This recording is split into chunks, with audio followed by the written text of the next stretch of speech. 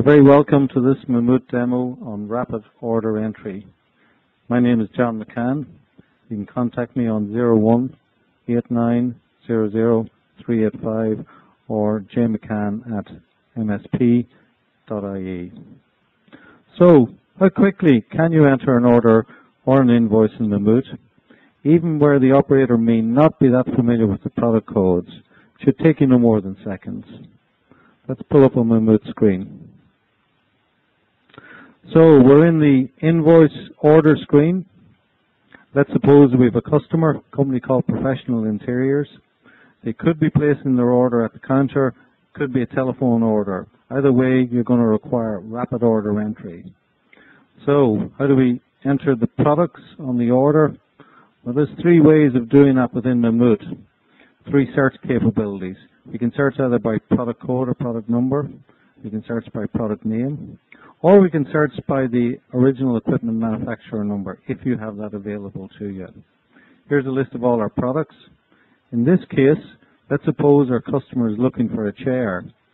So all we got to do is start typing C. It'll give us all the products that begin with C. H gives us everything. There's all our chairs. Okay, so let's select a chair. You'll notice in the bottom half of the screen, it's got some stocking information, so the order entry person can advise the customer there and then whether we have stock available. I'm going to choose this Contempo chair.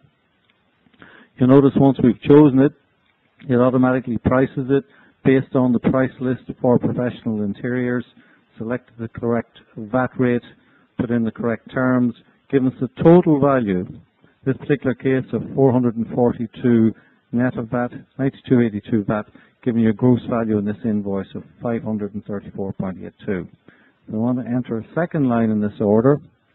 Well, assume in this particular case, the order entry staff, they don't know the number, they don't even have a good description to go on. All they know is perhaps maybe a product group. So let's say in this case the customer asks for some alcohol type products. We just go into our product groupings and select the alcohol group. There's all the alcohol products.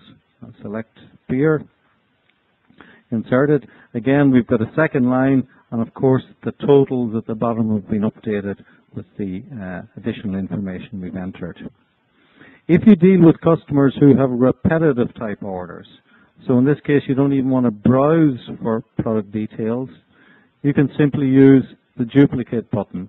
That allows you to take an existing order, um, convert it into a new order, and then amend the changes on the new order.